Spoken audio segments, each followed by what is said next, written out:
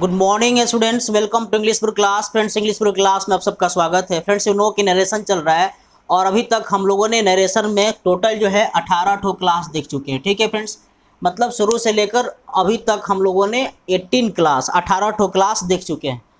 आज के क्लास बहुत इंपॉर्टेंट होने वाला है। मैंने अठारहवां क्लास में बताया था, यदि डायरेक्ट स्पीच का रिपोर्टेड स्पीच ऑप्टेटिव सेंटेंस से शुरू होता है, जैसे may God bless you may heaven protect you है ना? मे यू डाई सोन आप जल्दी मर जाओ. या may you success in your life आप अपने ज़िंदगी में जल्दी सफल हो जाओ.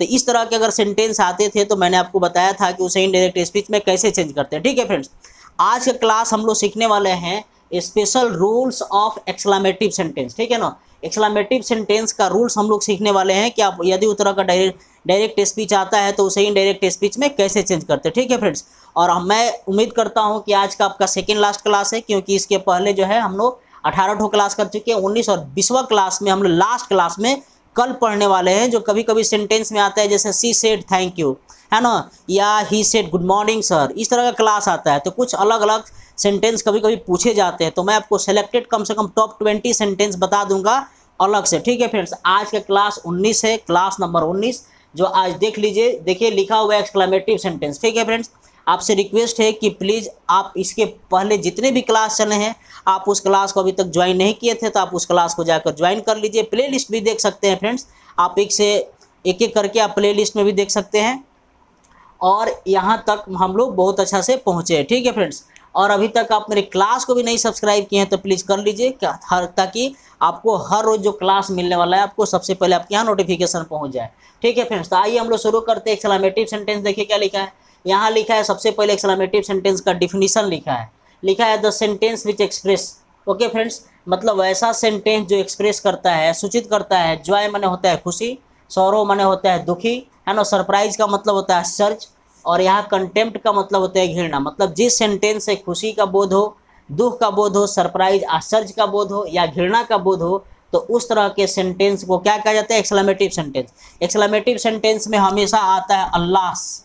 ए एल ए एस अल्लास आएगा। है ना? तो आप समझ लेंगे कि दुख का बोध हो रहा है। अगर हुरा आता है H U double R A H hurrah आता है तो आप खुशी ज़ाहिर समझेंगे। है ना? अगर इस तरह से आता, ओह ओह, आता है तो आप सरप्राइज़ समझेंगे। अगर आता है फाई फाई क्या आता है फ्रेंड्स? फाई फाई तो आप उस सेंटेंस को घृणा समझेंगे। जैसे she said fie fie idiot you tell lie झूठ बोलता है तुम। अगर इस तरह का छी छी तुम झूठ बोलते हो, अगर इस तरह का सेंटेंस आ जाता है, आप समझेंगे फाई फाई होता है। ओके फ्रेंड्स तो ये आपका एक्सक्लामेटिव सेंटेंस में लगता है। आप अभी तक नहीं देखे हैं तो आप इसको देख लीजिए, लिख लीजिए, है ना? मैं तो आपसे यही उम्मीद करता हूँ कि अभी तक जितना क्लास हम दिए हैं, आप बहुत अच्छा से फेयर कॉपी बनाते होंगे, ठीक है फ्रेंड्स क्योंकि बिना फेयर का काम नहीं चलने वाला, आप एक एक करके फेयर बनाइए। रेनबो पार्ट टू का मैं बुक पढ़ा रहा हूँ ऑब्जेक्टिव क्वेश्चंस बता रहा हूँ। अभी तक ग्रामर में बहुत सारे टॉपिक को हम लोगों ने देखा है है ना? आगे भी हम लोग बहुत सारा टॉपिक देखेंगे। तो इस तरह का सेंटेंस अगर आता है, हुर्रा आता है तो ज्वा समझेंगे। अगर आपका अल्लाह, है ना? या ओ सेट अगर सौरों के लिए आता है है ना? ओह, आता है, कुछ ऐसा वर्ड आता है फीलिंग आता है तो सरप्राइज़ समझेंगे फाई फाई आ जाएगा। उसमें क्या समझेंगे? आप कंटेंट समझेंगे। कंटेम्प्ट का मतलब होता है घृणा। जैसे मान लीजिए कि एग्ज़ाम्पल मैं बता रहा हूँ। आई सेड मैंने कहा H U double R A hurrah, है ना? वी हैव डब्लू ओन दी मैच है ना? आई सेड मैंने कहा hurrah we have won the match मैंने कहा कि वाह हम लोग मैच को क्या करें? जीत गए. तो जब भी इस तरह का सेंटेंस दे, वर्ड देखेंगे एक्सलाम एक्सलामेटरी वर्ड है ना? फीलिंग का वर्ड है तो आप समझेंगे ज्वाय लिखेंगे है ना? ज्वाय लिखेंगे। तो इस तरह का सेंटेंस सबसे पहले लिखेंगे I E X C L A I M E D exclaimed with joy I exclaimed with joy लिखेंगे। क्या लिखेंगे friends I exclaimed with joy हमेशा लिखेंगे okay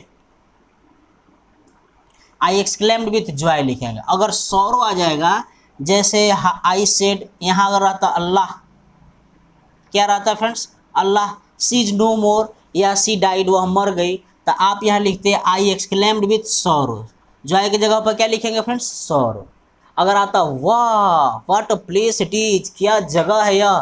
तो आई एक्सक्लेम्ड विथ सरप्राइज़ यहाँ हम भर्व थ्री नहीं लिखेंगे क्योंकि इसमें भर्व थ्री हो गया है।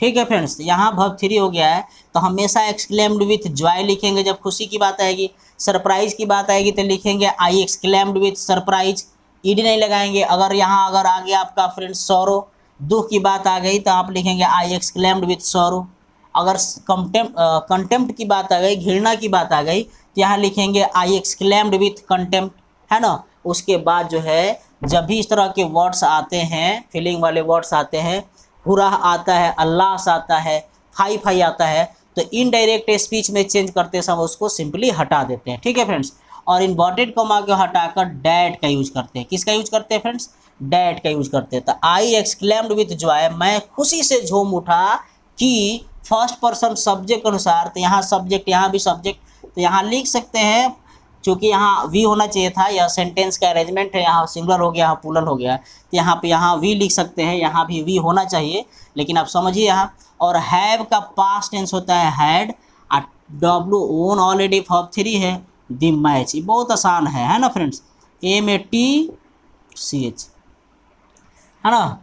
I exclaimed with joy that we had won the match मैंने खुशी से झूम उठा और बोला कि वाह, हम लोगों ने मैच को जीत गया था। तो इस तरह का सेंटेंस आप बना सकते हैं। अब सरप्राइज़ वाला सेंटेंस कैसे बनाएँगे? जैसे सी सेड सी सेड वाह, है ना? What a place P L A C E what a place she said वाह वाट अ प्लेस क्या जगह है। है ना? अब देखिए इसमें, देखिए आपको ध्यान देना है कि इसमें सब्जेक्ट नहीं लगा है भर्व नहीं लगा। तो अपने तरफ़ से सब्जेक्ट और भर्व को ले लेते हैं। अगर इस तरह से तो what a place it is तो भी अच्छा रहता ठीक है, अभी मैं उसको बता देता हूँ। तो सबसे पहले क्या लिखिएगा? सी यहाँ से यहाँ तक लिखेंगे सब सेंटेंस में, सभी सेंटेंस में लिखेंगे। तो ई एक्स है ना? E X C L A I M E D exclaimed लिखेंगे। E X C L A आई क्या लिखे हैं friends E X E X C L A I M E D exclaimed with और चूँकि वाह वाह, इस तरह का आता है वाह, इस तरह का सेंटेंस आता है, या वाह, है ना? मान लीजिए वो अगर ना आकर, अगर इस तरह का सेंटेंस आ गया, वाह तो आप समझ लेंगे सरप्राइज़ है तो यहाँ लिखेंगे with sir surprise A C U double P R I A C surprise और तब लिखेंगे friends that okay she exclaimed with surprise that अब आपको क्या देना है? वाटर प्लेस अब यहाँ सब्जेक्ट नहीं है तो ईट लिखेंगे। क्या लिखेंगे फ्रेंड्स प्लेस के लिए ईट अपने तरफ़ से सब्जेक्ट अपने तरफ़ से ले लेते हैं। जिस किसी सेंटेंस में सब्जेक्ट प्लस वर्ब नहीं रहता है तो अपने तरफ़ से उस सेंटेंस के मीनिंग के अनुसार, अगर सेंटेंस के मीनिंग के अनुसार अपने तरफ़ से ईट ले लेते हैं, और उसके बाद ईज का पास्ट टेंस वाज होता है। ईट वाज और चूँकि वाट अ प्लेस नाउन है तो ये सब ट्रांसफॉर्मेशन का रूल है हम आपको बताएँगे ट्रांसफॉर्मेशन जब पढ़ाएँगे। ईट वाज क्या लवली प्लेस स्ट्रेंज प्लेस या कुछ भी कह सकते हैं? S T R A N R A N G strange place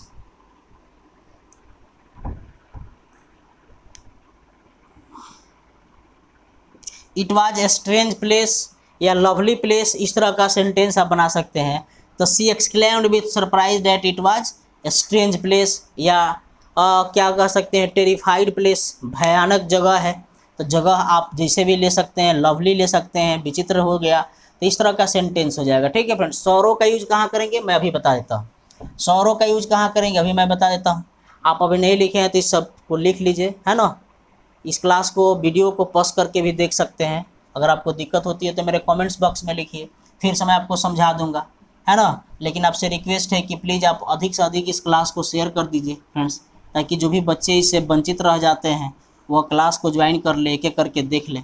अब आप सौरों का यूज़ कहाँ करेंगे? जैसे दुख का यूज़ कहाँ करेंगे? Your father your father said आपके पिताजी बोले, अल्लाह। है ना? अल्लाह। आप लिख सकते हैं कि she is no more sorry alas she is no more हे भगवान ओ गॉड आप अल्लाह की जगह वो गॉड भी लिख सकते हैं। वह अब नहीं रही। सी इज़ नो मोर का मतलब हो गया फ्रेंड्स वह अब नहीं रही। इस तरह का सेंटेंस आ गया। तो सबसे पहले लिखेंगे your father F A T H E your father E X C L A I M E D exclaimed with क्या sorrow? S O double R O W आपके पिताजी दुखी हो उठे, है ना? एक्सक्लेम्ड सब में लिखेंगे। एक्सक्लेम्ड विद सरप्राइज़ लिखेंगे एक्सक्लेम्ड विद जॉय लिखेंगे एक्सक्लेम्ड विद कंटेम्प्ट लिखेंगे एक्सक्लेम्ड विद सौरो लिखेंगे, सब सेंटेंस में लिखेंगे। सौरो और उसके बाद इन्वर्ट कोमा को हटाएँगे तो डैट का यूज़ करेंगे। किसका यूज़ करेंगे फ्रेंड्स डैट अभी मैंने बताया था ना कि रिपोर्टिंग रिपोर्टेड स्पीच में इन्वर्टेड कोमा के अंदर अगर अल्लाह आता है, ओ गॉड आता है फाई फाई आता है ओ माई गॉड आता है तो आप समझ लें उस सबको हटा देते हैं ना? और उसके बाद से देखिए यहाँ डैट के थर्ड पर्सन नो चेंज तो यहाँ लिखेंगे सी लिखेंगे, और ईज का पास्ट टेंस वाज हो जाएगा क्योंकि यहाँ पास्ट टेंस में है तो सी वाज नो मोर आप बताइए कितना अच्छा सेंटेंस है, और कितना ईजी सेंटेंस है। आप इस रूल को बहुत अच्छा से बना सकते हैं फ्रेंड्स ठीक है ना? आज हम लोग नरेशन का सेकेंड लास्ट क्लास देख रहे हैं, कल का बहुत स्पेशल क्लास होने वाला है। क्योंकि मैं अलग अलग से आपको सेंटेंस बताने वाला हूँ। जैसे she said to me good morning sir है ना? या कंग्रेचुलेसन इस तरह से कोई सेंटेंस आता है। जैसे हैप्पी बर्थडे टू यू इस तरह का सेंटेंस आता है। तब उसको कैसे चेंज करते हैं? ठीक है फ्रेंड्स तो ये रहा आपका सेंटेंस अब एक मैं बता देता हूँ किस पे? एक कंटेम्प्ट पे बता देता हूँ। जैसे यहाँ लिख लिख लीजिए सी सेड उसने कहा, है ना? Fie fie fie fie you tell a lie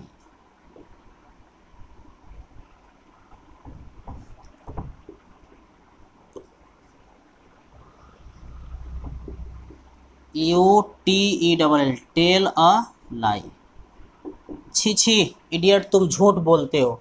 इस तरह का सेंटेंस आ गया तो आप इन इनडायरेक्ट स्पीच में कैसे चेंज करेंगे? तो लिखेंगे सी और तब लिखेंगे E X C L A I M E D exclaimed with C O N contempt she exclaimed with contempt okay friends चूँकि फाइव फाइव से सेंटेंस मैंने स्टार्टिंग में बता दिया, छिछी होता है तो वह छिछी करके कही डैट फाइव फाइव को हटा देंगे। सेकेंड पर्सन ऑब्जेक्ट के अनुसार कुछ भी नहीं है तो क्या लिखेंगे? आई लिखेंगे। I a tell a lie simple present tense है तो simple present tense simple past में चेंज होता है तो told a lie I told a lie okay friends तो इस तरह का आपका इनडायरेक्ट स्पीच में चेंज हो जाएगा। तो ये आपका रहा ओरल तरीके से। इसके जो कुछ रूल्स होते हैं, मैं आपको लिख कर बता देता हूँ। उसके बाद मैं और दो चार एग्जाम्पल्स बता दूँगा। आपको हमेशा के लिए क्लियर हो जाएगा कि how to change exclamatory sentence into indirect speech ठीक है फ्रेंड्स तो अभी मैं क्या करने चल रहा हूँ, आपको लिख कर बता देता हूँ कि इस तरह के सेंटेंसेज को आप कैसे चेंज करेंगे। ठीक है फ्रेंड्स तो चलिए हम लोग लिख कर देखते friends let's we see exclamative sentence किसे कहते हैं? तो आपको पता होना चाहिए एक्सक्लामेटिव सेंटेंस से जॉय खुशी की पता चलता है सौरों का पता चलता है सरप्राइज़ का पता चलता है और कंटेम्प्ट का पता चलता है। ठीक है फ्रेंड्स अब आपको रूल नंबर टू में आपको ध्यान देना है रिपोर्टिंग वर्ब जो है सेंटेंस के मीनिंग के अनुसार एक्सक्लेम्ड विथ सब में रहेगा। Exclaimed with joy exclaimed with sorrow exclaimed with surprise exclaimed with contempt का यूज़ करते हैं। इन्वर्टेड कॉमा को हटाते हैं फ्रेंड्स तो डाइट का यूज़ किया जाता है। आपको ध्यान रखना है। ओके फ्रेंड्स, अब सेंटेंस का जो मोस्ट इंपॉर्टेंट रोल है, आपको ध्यान देना यदि डायरेक्ट स्पीच के रिपोर्टेड स्पीच में ओ आता है, आ आता है लास आता है फाई फाई आता है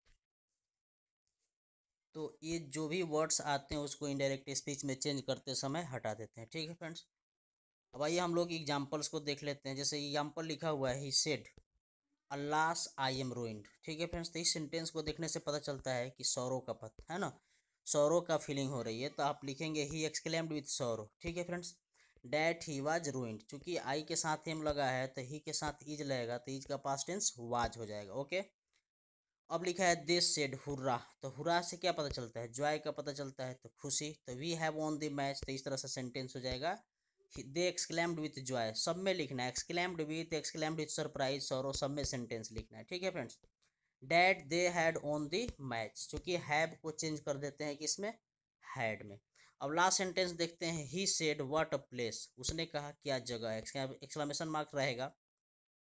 तो ही एक्सक्लेम्ड विथ सरप्राइज़ चूँकि वाट अ प्लेस सरप्राइज़ वाला सेंटेंस है। That it was very strange place तो जब भी इस तरह का सेंटेंस आता है तो फ्रेंड्स हम आपको ऐसे चेंज कर लेते हैं। ठीक है फ्रेंड्स तो मैं उम्मीद करूँ कि यह क्लास आपको बहुत अच्छा लगा होगा फ्रेंड्स फ्रेंड्स, आपसे रिक्वेस्ट है कि इस क्लास को लाइक करना ना भूलेंगे और अभी तक आप सब्सक्राइब नहीं किए तो प्लीज़ इस क्लास को सब्सक्राइब कर लीजिए ताकि हर रोज़ आपके पास फ़र्स्ट टाइम नोटिफिकेशन पहुँच जाए।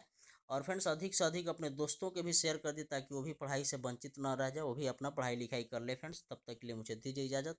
Thank you for watching this class. जय हिंद, जय भारत, वंदे मातरम।